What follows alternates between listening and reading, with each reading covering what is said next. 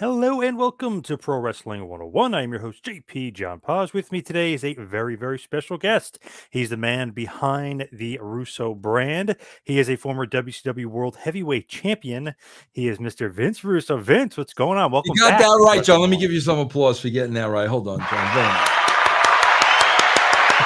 What is going on, John? How are you? John, I finally, through DM, I finally got to connect with Dutch a couple of weeks ago. It was Oh, really, really great uh, exchanging DMs with him. I got to get him on the phone. I want to talk to Dutch.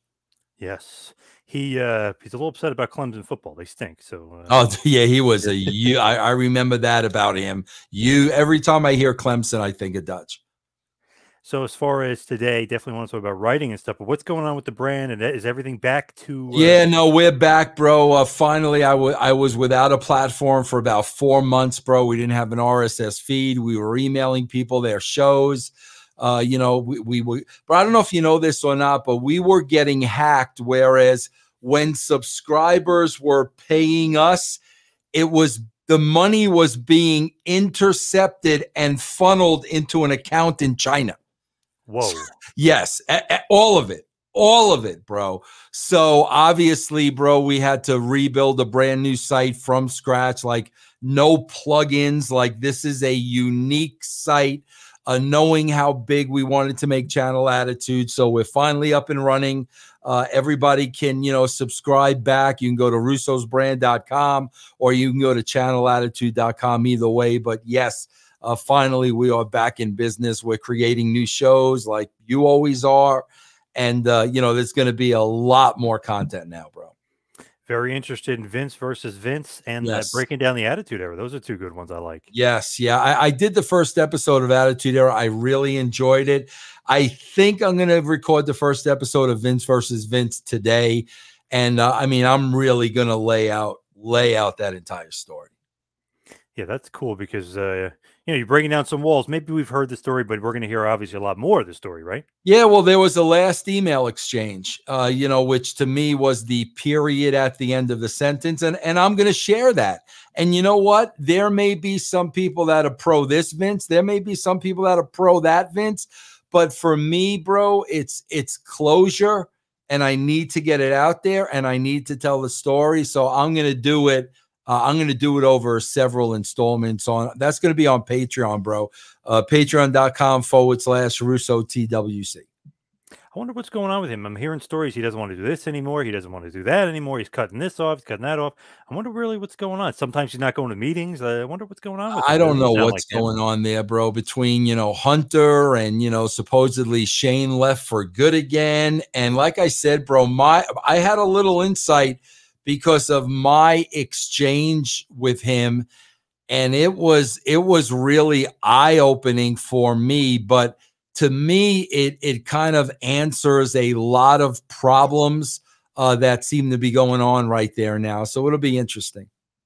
Really, I mean, Shane is gone. Obviously, Stephanie has a different role. Triple H had a heart attack, and then all of his guys get fired. So it, it's a little bit weird what's going on. And then obviously lost AEW in the, the NXT thing. So I mean, Vince is not happy with a bunch of the guys. I guess. Yeah, bro. But uh, like I said, uh, I I think my exchange with him is going to make people, a lot of people, say WTF, bro. Right. Yeah. I love it. So today, wanted to focus in on the last time we were on Pro Wrestling 101. We were talking about WWF and the writing. Wanted to focus in on WCW. So when you go to WCW, obviously big contract, big deal. You move down to Atlanta. What is the structure like? Is it you and Ed, or is it a committee? Like who's writing? No, show? it's it, it it started with me and Ed. I mean that that was the deal. You know, me me and Ed were being hired to do what we did at WWE. So it it it was me and Ed. I mean that that was the plan. We had a game plan. We knew exactly what we wanted to do. Uh, the first three months in, we were seeing that plan through. We were doing exactly what we said we were going to do. Um, when we took over, bro, the last show, I'll never forget it, bro. It's when they did three segments with Bret Hart and Benoit. That last show did a 2.5 rating. In three months, when Ed and I did the next three months, and keep in mind, it was three hour shows back then. When we did the next three months, we got it up to a 3.5 in those three months. And what the game plan was, was we had to, you know, demolish the building that was already in place and we had to brick by brick start building our our foundation. And that that's exactly what we were doing bro the first three months there. And like i said listen the, the ratings are out there for anybody to look at. Uh, and and if you if you call it a failure going from 2.5 to 3.5 in three months i really want to understand what your definition of failure is I mean, those numbers are out there. Anybody can look up the numbers. We we were well on our way to delivering exactly what we promised them. Now, when you're writing, like when you first get WCW, I used to have an old boss, and he used to put everybody's name on this big board and like where he wanted them, where they where he wanted them to be. And like, you know, he had everybody. Is that like when you're a writer, you first get WCW, like, okay, see Bret and all these names. Do you have like a board of you have every guy listed where you want not, them to be? Not, not, not really, bro. We probably have in front of us just the roster. you know, we probably yeah. have the paper in front of us.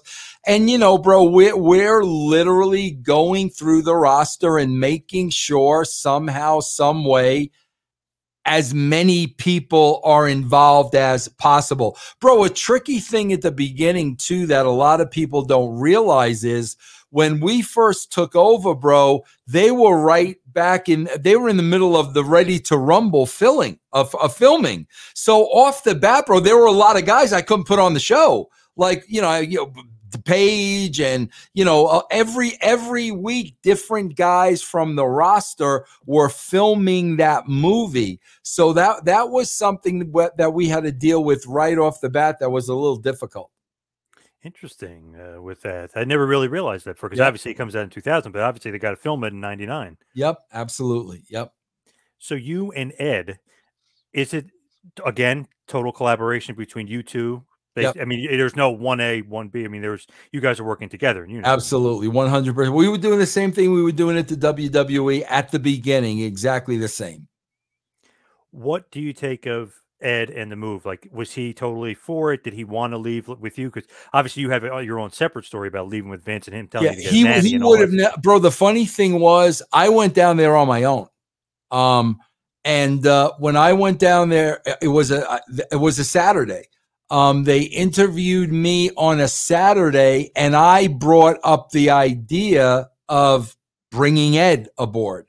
And they, I called Ed that night, and uh, Ed was very, very interested. Bro, Ed did not get along with Vince. And, and I'll go as far as to say, I don't want to use the word hated, but Ed did not like Vince um 10 times more like bro I I never disliked Vince or hated Vince like I could tolerate Vince Ed could not tolerate Vince. So when I called Ed and said, "Bro, listen, I'm going to WCW. They want you to fly down tomorrow." He was 100% in. Bro, I don't think for a second Ed would have stayed on at WWE as a writer if I had left. Because, bro, there were a couple of times when Ed was ready to leave.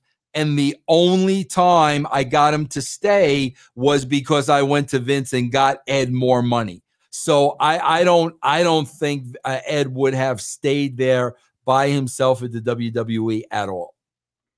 You know, he's got his story, but obviously yours. He told you to get a nanny, basically they were going to give you a SmackDown, right? And it's like, oh, Vince, what, like what the hell's going on here? Like you didn't yeah. tell us. Yeah. He just expects you to work, work, work, and not even. It, it was more the nanny line than anything, you know. And it and it wasn't like John. It wasn't the amount of work. It was the pride that Ed and I put into Raw. We, I mean, we put our blood, sweat, and tears into Raw and now you're adding another show and now it's like we we realize this is not going to be our best work I mean, having to write two shows, you're not going to get the type of quality you got with Raw because we had put so much time into Raw And now we were going to have to, like, bro, our shows, re- the quality of our shows really meant a lot to us. And we knew we were going to lose some of that quality if you added another show. And that that really bothered us at the time. It was it, it wasn't the workload bro.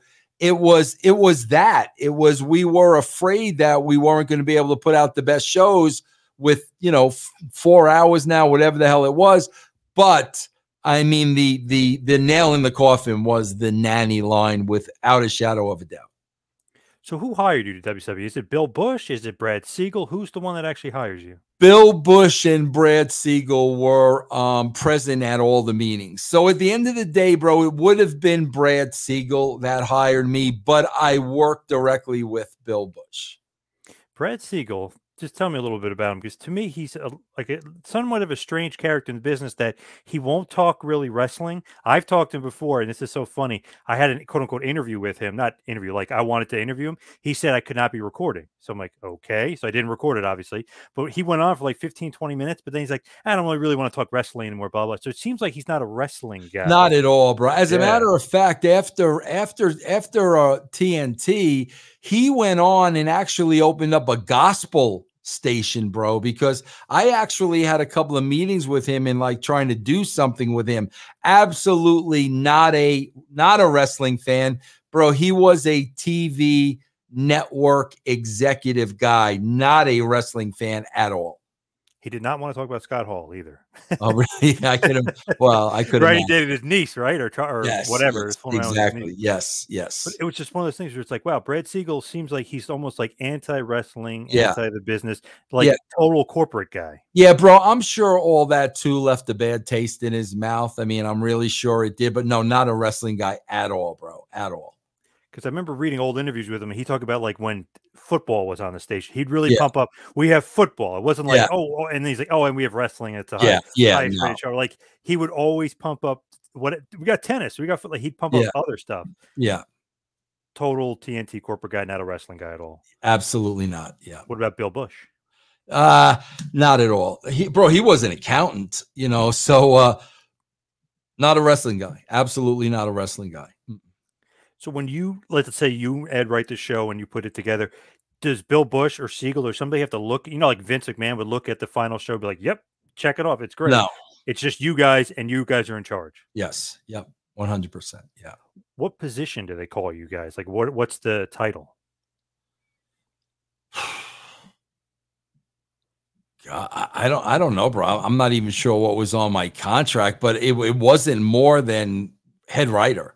I, you know, bro, that's why a lot of people think like I ran W. No, bro, I wrote the show. I mean, that's all I did. I did the same thing at WW, WWE that I did at WCW. We wrote the show.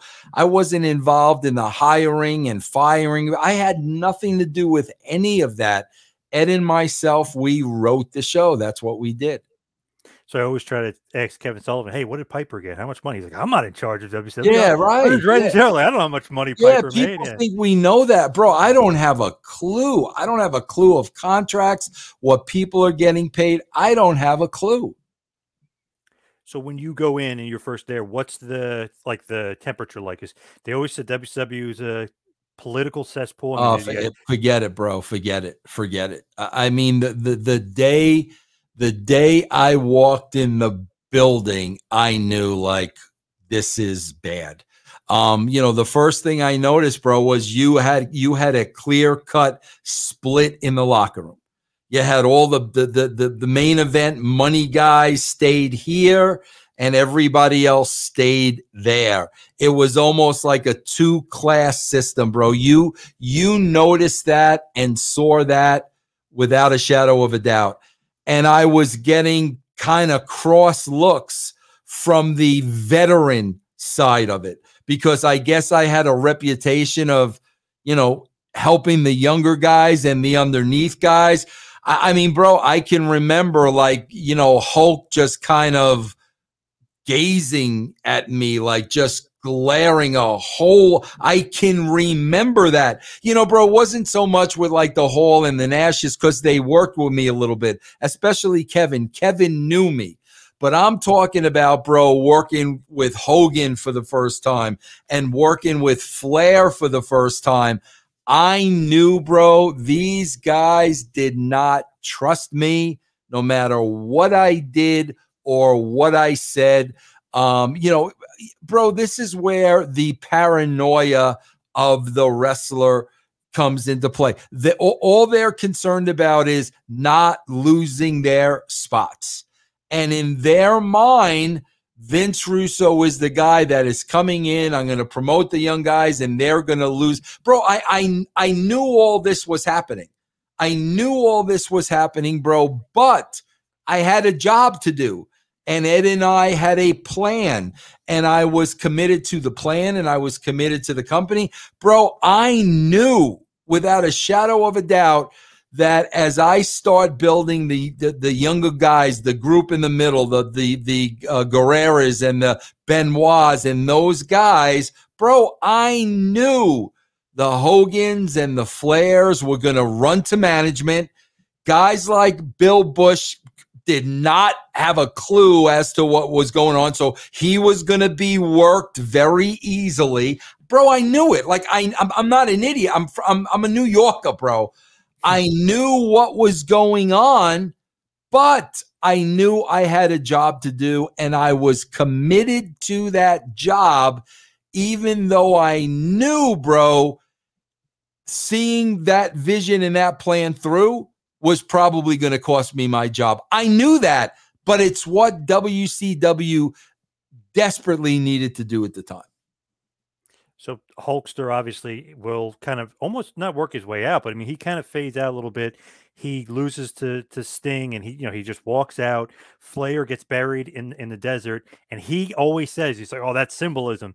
Was it symbolism, bro? The whole idea was, and that is absolute bullshit. One thousand percent bullshit, bro. I had an incentive clause in my contract the higher the rating, the more money I made. Okay. Hulk Hogan and Ric Flair are draws. They are icons, bro. I would be an absolute ass to write them off the shows. Now, before I got there, these guys were still wrestling and were just wrestlers on the roster. No, bro, they had to be moved into a, a role that was more suited for them at where they were in their career. But for, for the, the idea of me writing them off the show, absolute bullshit. Bro, the idea was, and if you saw what we did, it would be as clear as day. Bro, we, the idea was to get rid of the legends one by one. Okay. And if you notice, bro, Hogan, Flair, we did it with Piper. We did it with Hennig. If Hennig loses one more match, he's out. Yep. We did it with Duggan. D- Duggan was we, we we were demoralizing the legends, and one by one they were disappearing. Piper, Savage, one by one they were disappearing. Bro, the game plan was these guys were going to come back united like the Avengers. This is way before there was the Avengers franchise in the movie but they were going to come back united. Hennig, Flair, Hogan, Savage, Piper, Hennig, Duggan. They were going to come back united because, bro, the beauty of that story was these guys were fighting for their jobs against management. But how were all these personalities going to get along? How was Piper going to get along with Hogan? How was Hogan going to get along with Flair? How was Savage going to get along? That was the dynamic and the story. And they were all told that, bro. They were all told that. That's why Flair was buried in a desert. That's why, you know, we did the lay down with Hogan. That's why if Hennig lost the match, he was out. That's why when Savage came out, the first promo he cut was directed to me. That's why Jim Duggan was made to be my janitor. That was the game plan. But these guys were so paranoid that I was writing them off TV that they got in Bill Busch's ear They worked Bill Busch. He don't know what's going on. And bro, you got to understand, I knew all this. None, of this came as a surprise to me. So they got to Busch, they got in his ear, and that's when I was called in. And Bill Busch, literally white as a ghost, uh, tells me, uh, you know, Vince, we're taking a change in direction, which told me he didn't believe in it because the ratings were going up, bro. Like, because I remember, because uh, I, I remember saying, all right, let me get this straight, bro. We've gone from a 2 5 to a 3 5 in three months, and you're making a change in direction. Like, that's that's very odd to me, Bill. Like, white is a ghost, like, couldn't even answer me, which told me he he was worked, you know, by by wrestling and I just sat there, bro, very calmly because I saw it coming. And I just said, you know what, Bill? That's not what my contract states. My contract states I am the head of creative. I have no interest in being part of your committee. I said, so I'm going to go home. Um, you know, tell uh, Brad to get a hold of me. Let let me let let me know how we're going, how he's going to pay out my contract and I'll just go on my way because I, I I I saw it all happening, bro, in those first three months. So the politics, they're not going to let it play out. Right. Like literally the powers that be, you, you're Vince, you know, behind right. the scenes, but you're on, your voice is on camera. Right. J- JR is Ed, Oklahoma. Right. Gerald and Pat, Pat Brisco, or uh, uh, Pat Patterson, Jerry Brisco, obviously right. the Harris twins. Right. Shane is Virgil. Right. I mean, you guys had all the, the funny, like, you know, poke fun guys in place, but backstage, it was very much the guys were actually kind of taking everything one uh, so paranoid, yeah. bro. So yeah. freaking paranoid. I mean, it. Oh yeah, bro. Like and like I said, man, you, you got to understand, bro. I, am a normal guy. I, I I worked jobs before this. I had my own businesses. I, I was never in the wrestling bubble. So like when when you're kind of on the outside looking in on all this, bro, you, you tend to be smarter than everybody else because they, they think they're so smart and they think they're so brilliant. You know what, bro? In that world, they might be. But the outside world, bro, that has lived outside of the wrestling bubble, bro, you you see right through this shit. So, you know, like I said, bro, my, my first three months with Ed, we were doing our job, we were getting results, but I knew I knew what was going on. It's funny, Disco, the, the puppet over your right shoulder, has come to bat for you when people like, oh, Vince Russo is very disorganized, blah, blah. He was saying you were the only organized guy there for years because you would do production meetings. You would put, get the scripts. I mean, you would get everything together. He said it was very almost overly organized, where beforehand he said it was oh, yeah. Bro, this is a true story. I swear to God, I'll never forget the first TV we went to. I think it was in Biloxi. I think it, I'm almost positive it was in Biloxi. But I remember showing up to the building. No shit. And I said, What time is the production meeting? Whether it was to Keith, um, um, Mitchell. Mitchell, somebody. And bro, I'll never forget. They looked at me and they said, what is a production meeting? It, it, it never existed. They they ne- never existed, bro. We we were we were 100% in control. We had the script, we had the meet. Like it was no different, bro, than what we were doing at WWE. The only difference is there was no Vince. So that that was big, bro, because meaning there was no Vince also means there was nobody that had my back. You see, in the WWE, bro, I was so valuable to Vince that if you messed with me, you messed with him. So nobody, nobody screwed with me, bro, politically. So I was able to concentrate just on the show. I did not have that protection here so I was I was open game, bro, from day one. So there's political stuff going on. I mean, like crazy.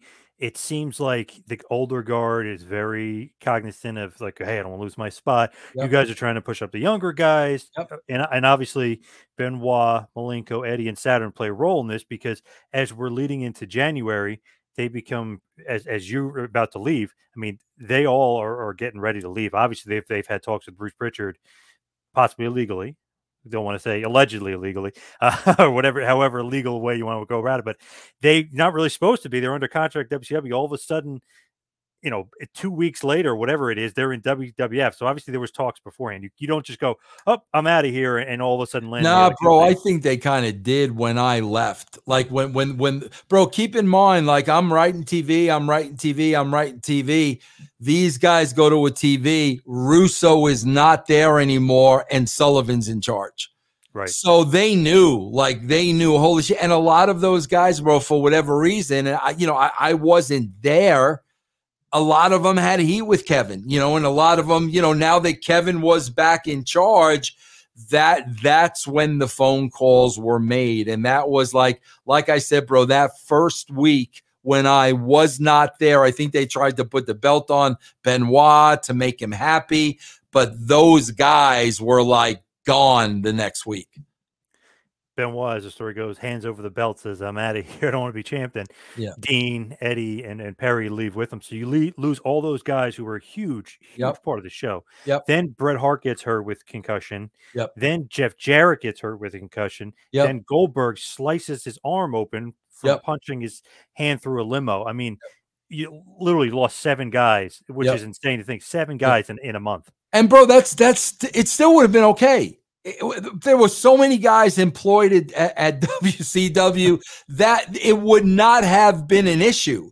So like that, you know, yeah, bro. It, it was every everybody was falling, bro. Everybody was getting hurt, and everybody was falling. But um, I- we would have been fine. I, I mean, there there were enough. There was enough depth at WCW that I don't think that would have affected our writing. So you go home for a few months and then come back. Were you always in talks with Brad about coming back? Never, never, bro. As, as bro, I swear to God, this is the truth. So we leave and it's a 3.5. Every bro, every week the rating is going back down to a 2.5. Okay. So finally they get back to in three in three months, we went from a 2.5 to a 3.5. Three months without me there, they went back from a 3.5 to a 2.5. So that's when Brad called because, bro, all I cared about, I swear to you, bro, I did not want to go back. All I cared about was I got a check every two weeks. That's all I cared about. I did not want to go back to work. I did not want to be in that environment. I was just every two weeks, bro. I am not shitting you. I was at that mailbox making sure that they were paying me. So uh, no, bro, there was not constant talk. It was after the three months. It was a call from Siegel that said, "I want you to meet somebody at a this restaurant." I knew who who, he was talking about. Uh, there was no question in my mind, bro. Listen, you can't you you can't force people to just work together and think it's going to work. From day one, bro, Eric Bischoff and myself are two completely different animals. The, the first time I sat down with him is it was at a restaurant in Atlanta that's no longer there called Hops. You got to understand something, bro. He's sitting across the guy that ultimately was partial partially responsible for him losing his job at WCW because I was writing for the WWE when we turned the tide and then he got fired. And then on top of that creatively I was the guy hired to replace him. So Eric off the bat has every reason in the world not to like me. Every reason in the world bro Plus, he wants his old job back without a shadow of a doubt. Me, on the other hand, bro, the guy came across to me as arrogant, cocky, conceited, things that were important to Eric, money, power, they were not important to me. The, the thing that was always important to me, bro, was writing and producing the best show I possibly could. I didn't care about money. I didn't care about being the boss. I didn't care about people being afraid of me. I I get in the trenches and I work. So from day 1, bro, you had two personalities here that were never going to get along. It did seem like an odd pairing. Yeah, yeah, it's just we're we're we're oil and water, bro. We're just two different people sometimes even sports, like they put guys together that oh they were good here, they're good there, let's put them together. It doesn't work, and then all of a sudden they play like a team, a cohesive team, like let's say WWE was, where they had all the pieces in place. There's no way to beat them because they're an actual team against guys that are just playing on their own, basically. That's it, bro. Absolutely. Yep. So with that, it almost kind of had your idea of the Millionaires Club, where the, all the old guys are together, all the unquote rich guys they're they're together against the new blood, the you know the, the young guys, some of them not so young, but the younger guys, maybe the mid card guys, maybe the guys that thought they deserved the push, Scott Steiner, Booker T, Jeff Jarrett, like those kind of guys. Is that the structure that he wanted to, or is that kind of your your storyline? No, that was both of us, bro. We we we met beforehand, him and I, and and we basically came up with that storyline and all that stuff together. April 10th, 2000 is pretty memorable Nitro. I mean, you, everybody hands over the title. Bischoff makes the funny remark to Sid, hand it over, make sure you don't have scissors, you know, making little little jokes, little shoot comments, I guess you would say in, in wrestling. But did you think that was going to be something? Because uh, everybody was interested in it, everything was hot, but that was almost like, okay, let's see if Bischoff and Russo can get along and for how long they can get along together. Bro, listen, there were, you know, I mean, uh, you know, bro, he wanted his job back. And, and, and I was in the way of that. Um, it, it wasn't going to work, bro. It just, it just wasn't going to work. And the thing that really set me off, bro, here's what really set me off.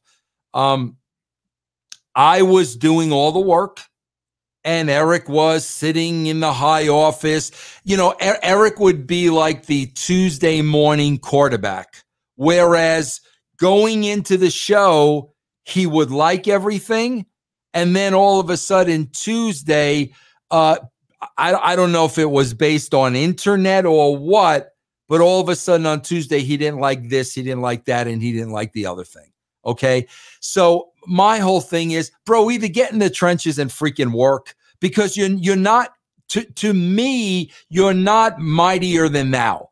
Okay, bro, I was the one that physically wrote the show. See, that's the thing. You, you know, bro, a lot of people, eh, this, this clown's one of them too. they, they think creative is coming to a meeting for an hour and throwing ideas out there. That that's what they think creative. They have no idea, bro, what goes into writing a television show. This guy, Bischoff, they never wrote a television show, bro. I'm talking about from one minute to th- three hours.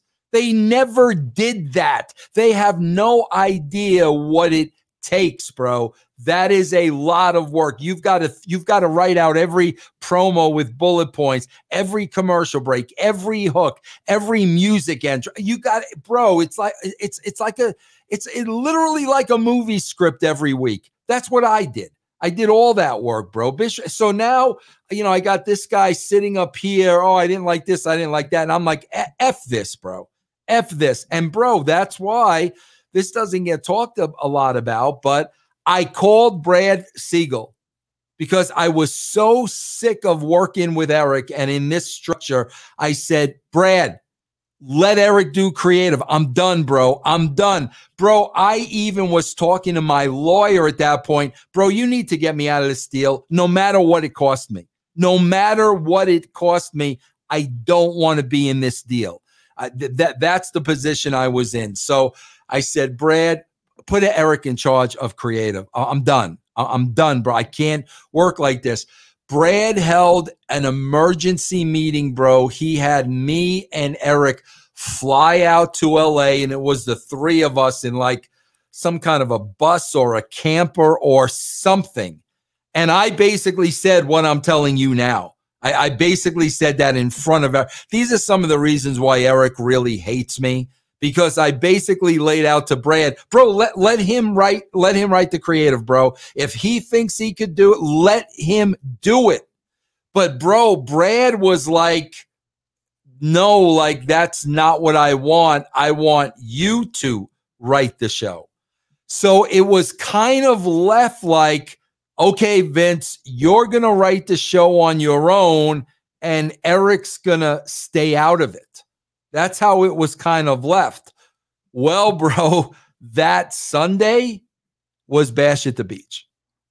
And from that point on, it was over and we have a whole show, so I'm not going to get into it, but we have a whole show, me and you, uh, on your YouTube, which is great. I had, I think it's like 45,000 views. Something, it's a really good amount of views, but yeah. anybody hasn't seen it, definitely check that out. We go break that thing down into detail yeah. on Hogan's creative control and what was yeah. supposed to happen, all that. Bro, there were two times Eric despises me, bro, because that time with Siegel, and there was one time with Dixie Carter where I called him out in front of Dixie. Bro, Eric does not like to be called out. Nobody calls out Eric, bro. Nobody. I guarantee you, I was the only guy that did it not once, but twice. That's why he has this hatred towards me. But, bro, the reason why I did that is I, I'm not going to play politics. Let's get this all out in the open, man to man. I'll say what I want to say. You say what you want to say. Brad Siegel sitting right there. Dixie Carter sitting right there. So it's it's not behind anybody's back. It's all in the open. That's how I do business, bro. And and like I said, man, I did it once with Siegel at WCW, then I did it with uh, Dixie, and and he that does not work well with him. I saw recently, which was very big of you. I saw recently Khan was kind of bad mouthing Bischoff, who knows work or shoot or whatever's going on there. But you said to, to think anything less of Bischoff or to discredit him in the business and think his opinion doesn't matter is silly. So I thought that was pretty big of oh, you. Oh, yeah, say, no, see, know? bro, that that's the thing. I don't have any animosity towards him. Like, bro, Eric, Eric has said over and over again he would never do, be on the same show as me. He would never lower himself. Bro, I've never talked that crap. What I've always said is bro, we were two two people with two totally different personalities that were never going to get along. That, that that's what I've said. I never blamed anybody. Like he was a certain way, I was a certain way. We were never going to get along. So, bro, I have zero, zero animosity towards that guy today. None, zero. So obviously, Bash the Beach happens. You're kind of you're you end up staying. Bischoff goes who knows what really happened with Hogan and Bischoff as far as them thinking one thing and then suing and you know who knows what's going on in their head but you're still there. I mean you're you're staying with WCW you try to do kind of almost like a realism angle with Nash and Goldberg and Scott Steiner saying like oh they're not following the script. Was that something where you wanted to make it seem like wrestling was like we're we're making it real? Or what was the thought process in that that storyline the thought process bro is to to add a reality to the business. Bro everybody knows it's a work. We right. know it's a work. Bro the interesting elements is what's really going on backstage. What's really happening in the company? What's happening? The politics. That's the interesting part, bro. Especially WCW. yeah, if if that's what wrestling became today, guess what, bro? You may turn off the 500,000 people that watch Rampage on Friday night. You would have 5 million television viewers that weren't necessarily wrestling marks. Bro, you would have them addicted to this show. But you know why nobody does it, bro? It goes back to the wrestling bubble. No, no, brother. They, they want long matches. Bro, dwindling numbers don't show you that they don't want long matches. Bro, I just started reviewing the Attitude Era. Right. Bro, the matches are three, four, five minutes. Eight million people were watching that show. All of a sudden, matches have become 12, 15, 20 minutes, and you got a million and a half people watching Raw. Like what what don't you understand? That is crazy to think that like longer match. I know some longer matches I, have noticed can hold up, but most of them do not because you literally and and this happens all the time. AEW, if you look at the ratings, people know this 15 minute match. They know who's going to win. It's so predictable. Yep. They turn it off. They come yep. back. Like yep. or you it, turn it bro. off and you may not come back. You know, attitude era. You could turn off, put on WCW, but you you almost like I don't want to miss it. You know what I mean? Like, oh shit, the Godfather. Oh, mm, you know what I mean? You don't want to miss No, that. it's there. The data is there for them. It is there for them, but they don't. They're such marks, bro, that they want to do it their way. And you know, like you know, bro, you got to think differently when it comes to AEW because you got to understand money doesn't matter. So whether Tony Khan, whose dad is a billionaire, makes or loses money doesn't matter. You got to take that out of the equation. So if Tony Khan, who is a mark, can have all these action figures and be Booker of the Year and right, that's all he wants. I mean, that's all he wants. But meanwhile, you know, people like me are sitting here saying, bro, you can quadruple your audience if you just did this the right way. But And it's funny, somebody on Cash Trading the Marks, I forget who it was, one of the guys was saying, Oh, AEW is profitable. According to Tony Khan himself, two months ago into Forbes said they're not profitable. They're in Right, the red. So right. you can't just be a wrestling quote unquote journalist and say that the company's profitable when the company owner, who you think is being 100% honest because it's a negative on the company, says they're Right. not profitable. right. So they got to get their shit together over there. But obviously, he's not profitable right now. He's in Right. the red. Right. And and he's going to keep adding more talent and more talent. And bro, here's one of my predictions too. You know, bro, I collect albums. I have about 4,000 albums. Okay. Alone, My- my- yes. yeah, my wife tells me I don't need any more albums. And my wife has this idea okay, for every album you buy now, you're going to get rid of one. And I'm like, no, I ain't getting rid of nothing. I collect albums. I'm not getting rid of any of these. The number's going to grow. Bro, Tony Khan collects wrestlers. He's not going to release anybody, bro. He's going to collect more action figures and more wrestlers and more wrestlers and that that payroll is going to go up, up, up, up, but it's not about making money. Bro, with, with Dixie Carter, the Carters had money, but were not billionaires, bro. So we were always faced with a budget. You know, money came into play a lot with TNA. That doesn't matter here. So it, it's really hard to look at, you know, apples to apples when it doesn't matter if they make money or not. Yeah.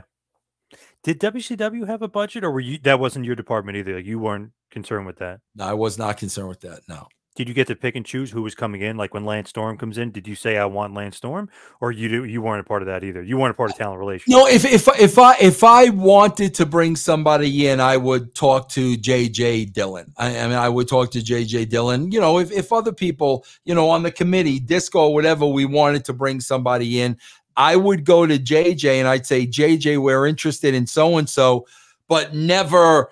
Okay, we want him for three years for the never. None of that was ever discussed. Just we were interested in the talent. What was the relationship like with JJ? Because obviously he's Flair's really good friend. I Well, mean, that's what art- happened. It- He's part of the old guard. that's what happened, bro. JJ was in the middle of all of that. Flair in JJ's ear, JJ in Bill Busch's ear. Um, yeah, so he he was one of those people. You know, bro, Sullivan was too. I mean, like I, I'm I'm not gonna lie, bro. You know when Flair's boy. yeah, you know, bro, when you- bro, you know when you're you're someplace and all of a sudden you look over here and two people are having a conversation as soon as they see you looking at them, they stop talking. That that's Yeah. what it was. Like I knew. So it was Sullivan, it was uh, JJ Dillon, it was Ric Flair. Bro, I knew, like I knew what was going on, but bro, my mentality was, I swear to God, my mentality was bro, I'm not going to play politics. So go ahead and replace me and we'll see what happens. I, I mean, seriously, because I knew, I knew what would happen and exactly what I thought would happen did happen. And, you know, that's why three months later they wound up calling me back. And eventually you do win the WCW, like we said at the top, WCW World Heavyweight Championship. Yes. Now, the puppet, the disco man, he says that you did that because you were a mark for yourself He's and you wanted to be idiot. you wanted to be Such champion. he's such an idiot. Is that true? Is that uh, true? bro bro you know what people don't understand and and and, and i have proof to this bro if you put on aew if you put on raw it's the same shit every week. Right. Wrestlers want to fight each other because they're wrestlers. That's why they. I mean, bro, some of the storylines in the WWE the last couple of weeks were okay. Uh, three guys wanted to be the face of uh, WWE, so they got a fight over that. Then, then they came out actually one week and they were all reading their resumes, bro. WWE is guys want to fight because they're wrestlers. Okay, bro. When you're writers, here's the thing. Number one, I never wanted to repeat what a wrestling fan had already seen. So we were constantly, constantly, constantly thinking of new looks, new stories, new ideas, stuff you hadn't seen before. Okay. So, bro, when you create a scenario of Vince Russo has a match against Booker T, almost gets killed by Goldberg, but in the process is the first one to leave the cage when you write something like that, bro, that wasn't supposed to happen, all of a sudden, what that does is it opens up the creative envelope because now, bro, you have you have all these opportunities for storylines that would not have been available prior. So that's why you that's why David Arquette becomes a champion. That's why Russo wins the belt because creatively, bro, because these things weren't supposed to happen, bro, now you've got five, six, seven, ten different directions you could go in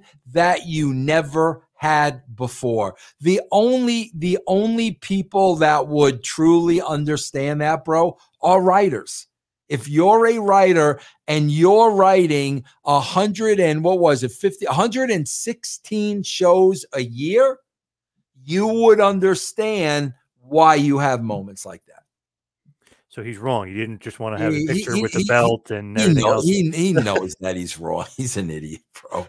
I think he said you wrote yourself to be champion because you wanted to have a picture with the belt, and you always wanted to be the champion because you were. First of all, bro, let me tell you a couple of things. Number one, I couldn't even tell you what that belt looks like. Number one. Number two, I, the, I don't even think there ever was a picture of the belt. But bro, here here's the thing that makes me crack up more than anything so I I almost get killed in winning the belt because Goldberg spears me out of the cage. That yep. was a nitro. Yep. Bro, the very next Thunder, I relinquish the belt. Th- that's what we're talking about here, bro. Yeah. The very next show, I give up the belt. Vince Russo did not have a title uh, uh, reign. the very next show, because, bro, the bottom line was I should have never won. Okay. I almost got killed in the process. Now that all of a sudden I have this thing, bro, I don't want this thing. That's why the very next show I did the all, I, I got nothing to prove. Like I, I Booker's ass. I'm that's why I did that. But bro, the fact that people still make an issue out of it when it was from one show to the next. Oh, they go crazy about it. Yeah, they, crazy, they go nuts, bro. It's it's ridiculous, bro. Did you get a concussion from that spear and hitting your head on the outside? Oh god, big time. That that bro, I had many concussions leading up to that. That was the one that ended it. Like that one, I it, I was done. I after that one, I I I that's when I went home. I I was finished physically, bro. I had um um what you call um vertigo, horrible, horrible that bouts of vertigo. I had post concussion syndrome, and that was the final nail. Did you say anything to Goldberg like, "Hey, man, I'm not a really wrestler. Like that was a bit stiff." Or, oh, bro, dur- during the day, I already had a concussion. I was wrestling with a concussion, and I told him that. I'm like, bro, I'm concussed. You got to take care of me. And like, bro, I'll never forget. There were two you know, metal barri- barricades. And I'm like, bro, you got to land me right between these, right between the, oh, yeah, Vince, no problem, no problem, no problem, no problem. Bro, he drilled me right into the barricade, you know, and that, that was it, bro. That I was done at that point. So what was the like the final straw to leaving WWE for good? I guess it would be somewhere towards October of 2000. What was like the end game there, or basically maybe November? But bro, what, the, what was the final straw? The final straw really was, bro. I'll be honest with you. I was still writing the best show I could. I, I was still giving it my all, bro, giving the same effort, like through it all. But all of a sudden, bro, you'd show up for work and all everybody was talking about was the sale of the company. Nobody even cared about the show anymore. Like it didn't even matter. It was all about, oh, we're going to be sold? Who are we going to be sold? Who's going to buy? Is Eric going to? Every time you went to TV, that's all it was. So I said to myself, why am I going to put any more effort into this show when nobody gives a shit about the show? And that's when I was like, you know what, bro? Between my concussions and the doctor telling me I don't need any more stress with the head trauma, I'm I'm just I'm done. And that was it, bro. That's when I went home. Were you working under a committee at that point too? Was it a bunch of guys? Was it you, Ed? Yeah, yeah, it was. I mean, I I was the guy, but like I had put a committee together and we were working together. Yes. Who else was in it? Was it Bill Banks? Uh, Bill Banks. I think I, Borash was in there early. I brought Jeremy in. Uh, Ed was there. Disco was there. Terry Taylor was there. Um, uh, that's that's the gist of it, I think. Would you ever call Bill Banks your assistant like Tony Khan did to QT Marshall? Never, bro. I, I, I never, never, bro. I were, I, I, bro. Listen, I, I kind of broke Bill Banks in. I broke Jeremy in, and Jeremy's doing great things today. Oh yeah. I broke in uh, at, at TNA, Matt Conway. I always took the young guy under my wing, bro. Never in a million years would have referred to those guys as my assistant, ever, ever, ever. So you leave WCW, obviously, then Bischoff and Johnny Ace are kind of in control. Terry Taylor's writing some of the shows. You see that they get sold to WWF. What were your like initial thoughts? Like, oh, I knew it was going to happen, or just complete shock? Bro, I want my money. I, I don't care at that point. Like I swear to God, I am so done with this. I don't care. I don't want to go work for the WWE. I want to be done with this.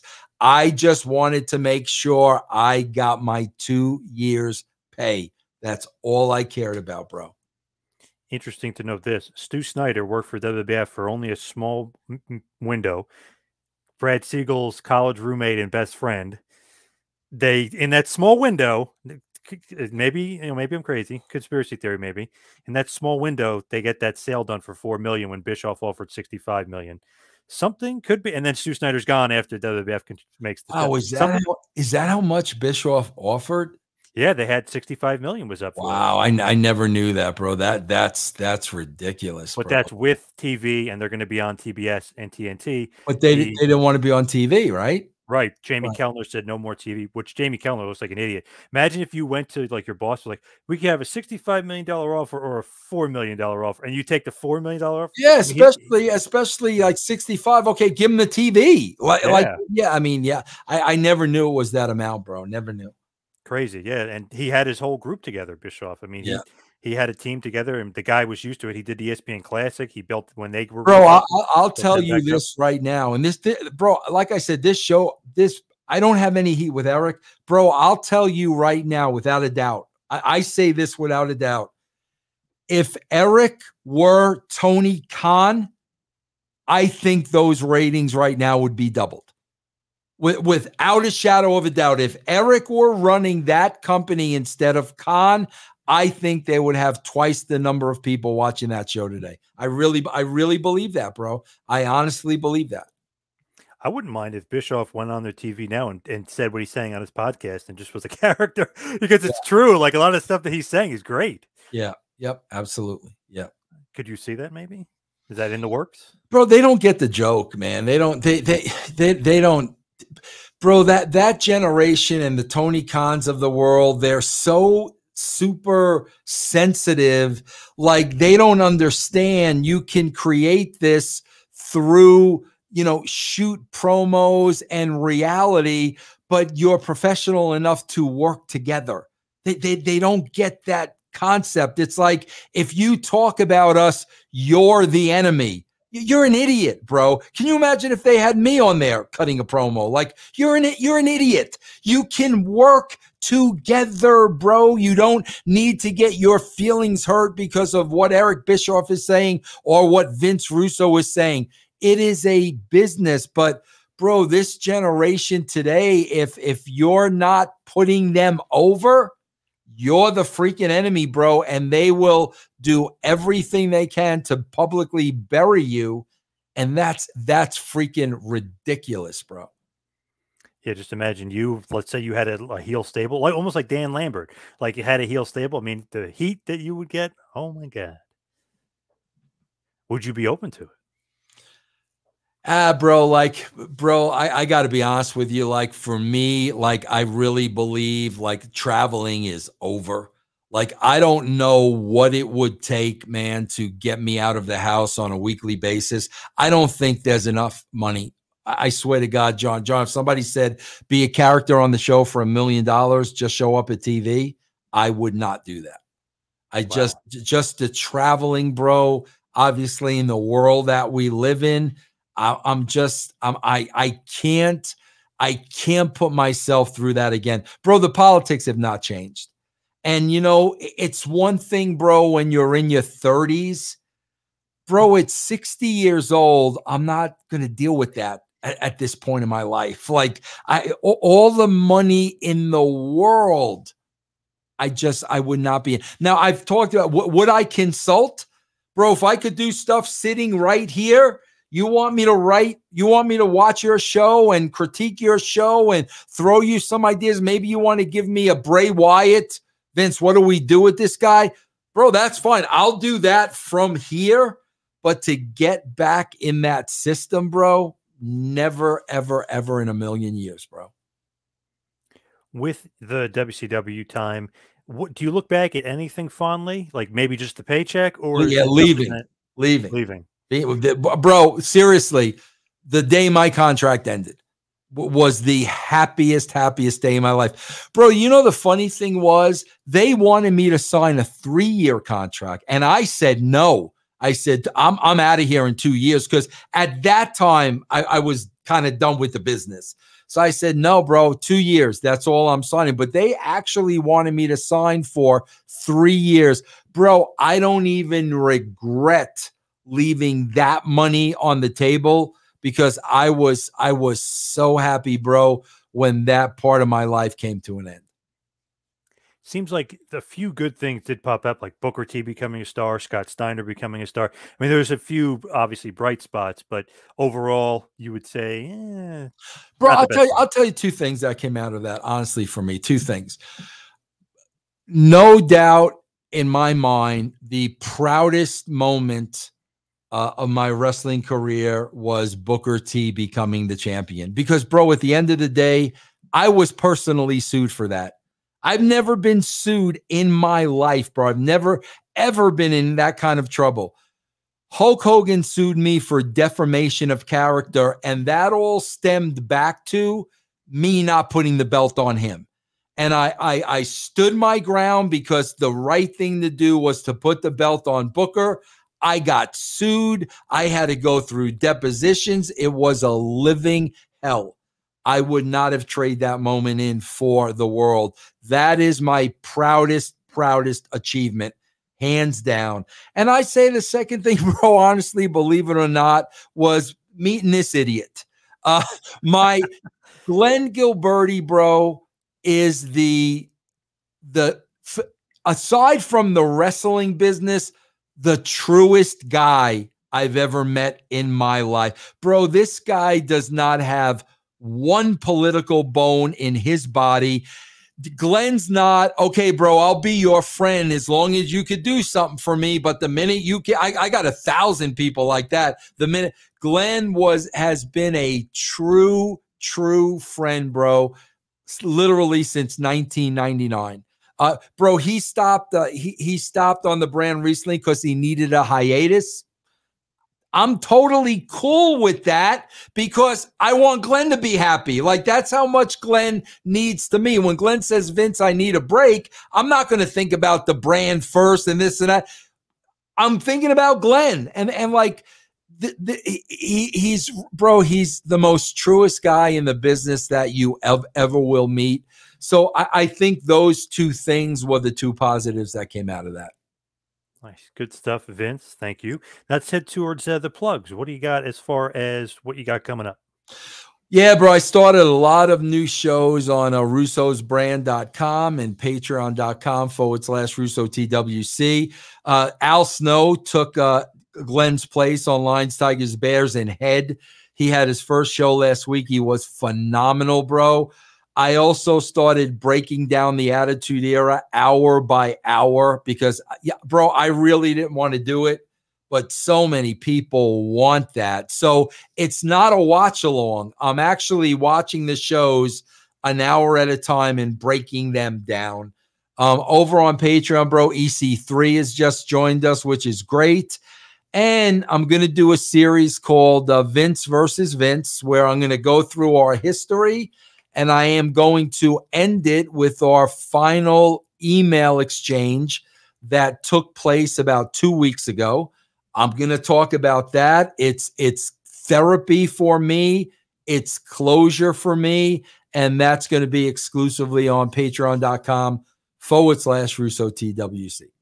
Great stuff. Of course, you can follow me on Twitter and Instagram at Two Man Power Trip. Check out the website, tmptempire.com and Patreon, patreon.com slash tmptempire. Vince, thank you so much. Appreciate it. Thank you, John. As always, appreciate it, man.